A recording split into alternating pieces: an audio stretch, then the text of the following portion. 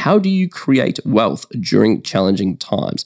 Now, there's a lot of ways to interpret that. So when we say challenging times, uh, I'm, I'm going to interpret it as like the recession, industry downturns, that kind of stuff. And Charley, I'm going to let you answer any way you would like because I'm going to say this is not financial advice. This is just our opinions. So dive Absolutely. into this however you'd like. This is an interesting question. I really like this question because um, I think there is a general mentality that is portrayed by uh, media or other people or ingrained to us is like, okay, when the markets are doing well, or when the mar- economy is growing, or when GDP is up, you have permission to make money. Yep. Congratulations. And if we're in a recession or there's a downturn, no, no, no, you have to lose money. Like it couldn't possibly be anything else but that. And I think a lot of people carry that in their wiring. So even if they're not invested in the share market, if the share market's doing well, that somehow gives them permission. Well, I can do well in business, yep. even though it has nothing to do with it. Or oh, over here, this thing has it, and I just think that that is completely false. That's not how things work.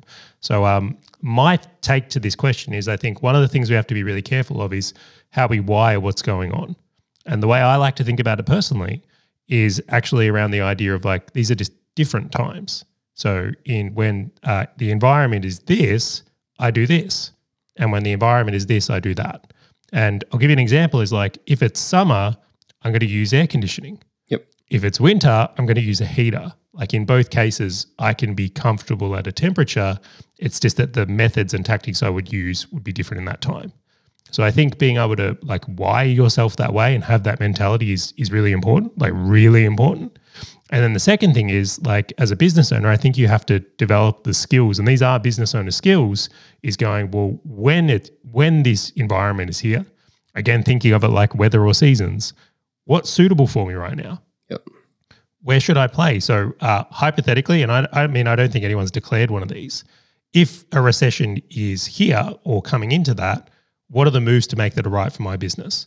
So maybe that's developing. Uh, and again, I love this one. If you're if you're an accountant right now, hypothetically, is like maybe consider developing a service which is like how to be uh, more diligent with your finances. Yep. Let me show you how to cut costs right now so that you can make a saving. So you're going to pay me thousand dollars, but I'm going to save you two thousand dollars. Like what a great offer in a recession. Yep. I just think that's mentality, right? But that's just like different environment where it's like in the other environment, that same accountant might be okay. Well, if you're on fire, let me show you what to do with all that money you're making, or how to do better on tax might be a better uh, offer there. And that's all hypothetical. Please don't be an accountant on here and actually run those offers and say Charley made them up. And like I, I just more like really think of the mentality that comes through these things. And I, in everyone, and I know we just spoke about this on a previous episode, but if you're in hospitality, like last time in 2008 when there was a big recession, McDonald's did really well. Yeah. And it's like I look at that and go, okay, well, if you're a high end restaurant, what offers could you put together where you can be more like McDonald's or create things that are suitable for that environment? So that's what I really think about is like, how do you build uh, wealth in challenging times? It's like, how do I stay cool in summer? How do I stay warm in winter? Like, there's an absolute mentality and skill set that goes with it. There are opportunities in every environment, all of them. And I think that that last point is perfect because that was exactly what I was going to say as step one is just acknowledging whether it's creating wealth in your business or creating wealth personally, there is always someone who is winning in every market. Always. And if you start understanding that as a mentality and start like just removing these concepts of whatever the news is saying or this this fear mongering that really goes on, like, like I was at a catch up and it was just everyone was like, oh man, crypto's down 30% and the market's down 30%. Like, I'm just going to sort of sit here and just wait it out and everything. And I'm just like, where did you get that mentality from as opposed to going? Must have worked at Kodak for sure. um, and I'm like, where did you get that from? Because instead, just think about it and ask yourself a slightly different question, which is not, oh, wow, the markets have gone down. Is this the bottom and should I buy? It's going, what are the smartest people who are making the most money doing now? What variables have changed, right? Like, what? How do I understand it all? And this, the second point that I was going to put on top of this is, for me personally, in challenging times, the first thing that I always make sure is working is the business. Before I look at any other personal wealth, anything's, it is, is my business going to weather this storm? I don't care if it's making good money and putting cash in a bank account and that cash is going to sit there during challenging times, as long as my foundation, which is always my business, is rock solid, is going to become more profitable by cutting out expenses. And to the episode that we just recorded previously, it was as long as we're innovating as well, so we can continue growing, etc. Once that is sort of solidified, great. Now I can start looking at other opportunities. But like your business has to be the number one focus before you start looking over the fence to say, oh, is there something else? Uh, depending on like again your sort of situation, that is exactly where I personally go. Is go, is the business still locked in? Yep, great. Now I can look elsewhere. I love that so much. And when you think about it, it's like that's the thing where you can have the most active and quick response, right? It's, Of course. Yeah, so it's like it makes sense, and I'm like, I, I will sit there as like, how good would it feel? Pretend that it is a recession, right? Hypothetically, like markets are down, properties exploded, all of it, right? And you're sitting there and you've got a really well running business. You're now in a position to confidently capitalize on those opportunities. Yep. I really look at it. But imagine if you didn't, and imagine that you focused in on like, oh, what crypto, what share, what something am I going to buy, and your business is sitting there burning. and so you have to win on those opportunities in order to save the business. Like that, that does not work at all. Not at all.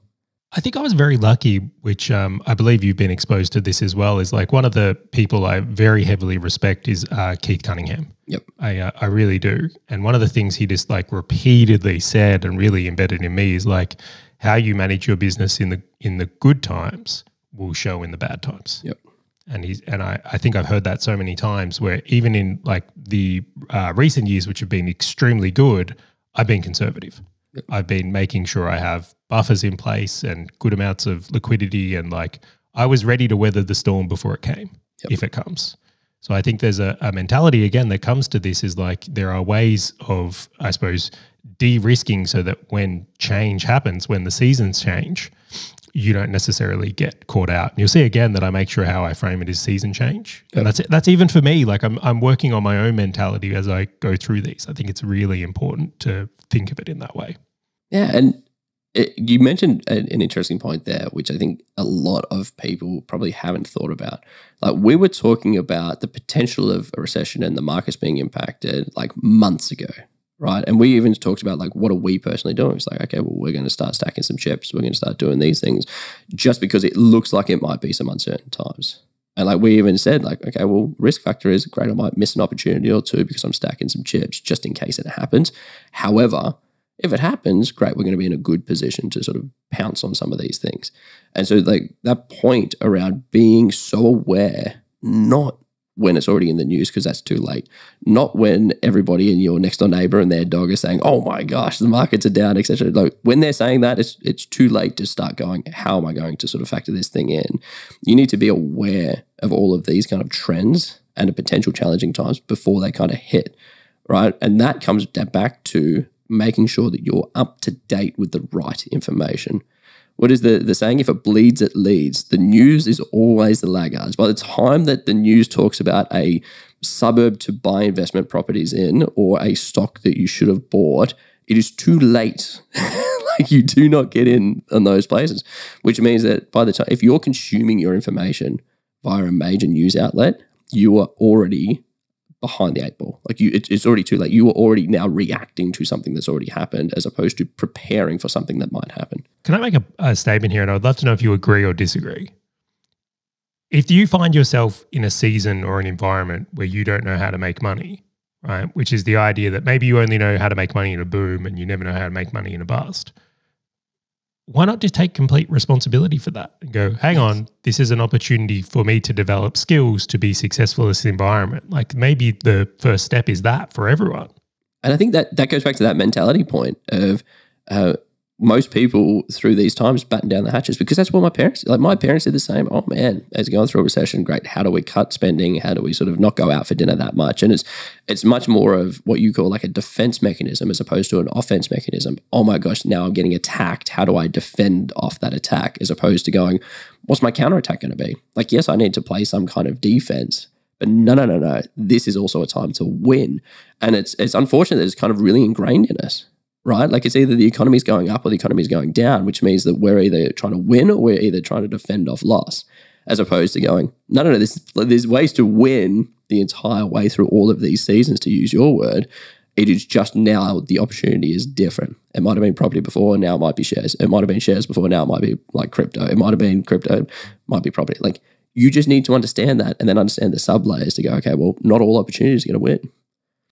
Wholeheartedly. And business as well, right? Same thing applies. Hey, fellow business owner, if this topic and value packed short video has resonated with you at all, and you want to dive deeper into being a full stack business owner, check out the full episode by clicking the link on your screen or in the description right now.